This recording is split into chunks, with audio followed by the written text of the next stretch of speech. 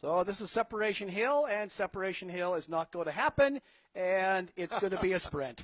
Absolutely right, Peter. Good, good thought. Oh, this is going to be a dandy.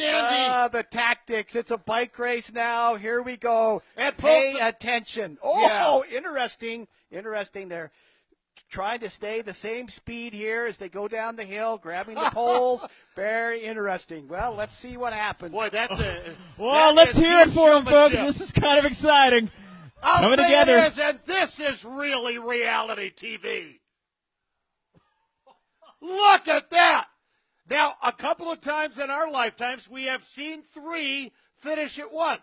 That doesn't always please the coaches, but uh, let's see what happens here. Matt, we're going to send it down to you for the final call. Oh, thank you so much, Peter and Peter. Here they come, folks. Let's hear it for these tremendous athletes. After 30 kilometers, they're going to come in together as teammates out of the Russian Federation, Alexei Chervotkin, Alexander Bolshunov, and Denis Spitsov giving us a lesson in sportsmanship and camaraderie and brotherhood and teamwork. Look at them, folks.